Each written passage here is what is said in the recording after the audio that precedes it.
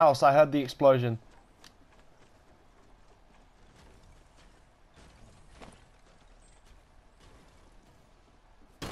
I got someone!